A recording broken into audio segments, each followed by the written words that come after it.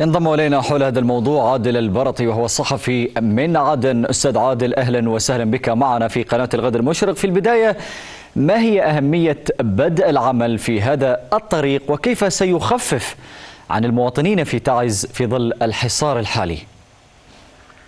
آه مساء الخير وشكرا لاستضافتكم لنا بهذا الاتصال.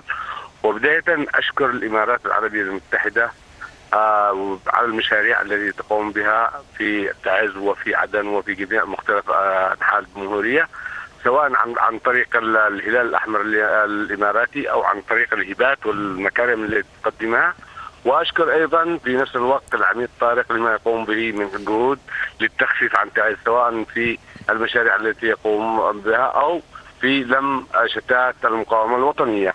آه ما أهمية عودة إلى أهمية الطريق المؤدية من القدحه أو من المخاء إلى البيرين هي أهمية استراتيجية بحتة وهي تعتبر ستكون قريبا الشريان الحقيقي لتعز. وذلك لمد تعز بالمواد الغذائية وكسر الحصار الذي تقوم به ميليشيات الحوثي من من من جهة. وميليشيا الإخوان عن طريق اللواء الرابع قبولي في منطقة طور الباحة واللي يتعرضون الناس وتجار تعز لأبشع أنواع التصرفات والابتزاز هذا اللواء وميليشياته.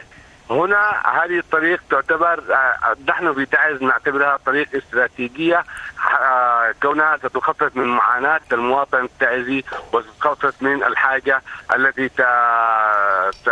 يعني تضرب بالمواطن التعزي. كون مادة الغاز المواد الغذائية كل هذه المواد المستلزمات الحياتية التي تلزم المواطن في تعز كانت شبه منعدمة سواء بسبب الحصار من اتجاه الحوثي أو بسبب الحصار النقاط الأمنية الخاضعة لسلطة الإخوان المسلمين. آه أيضا نشكر آه ما تقوم به آه في فتح آه مطار آه المخاء الدولي وهو ما سيكون نافذة للعالم لتعز ولبقية الجمهورية إن شاء الله. نعم عادل البرطي صحفي من عدن كنت معنا عبر الهاتف شكرا جزيلا لك.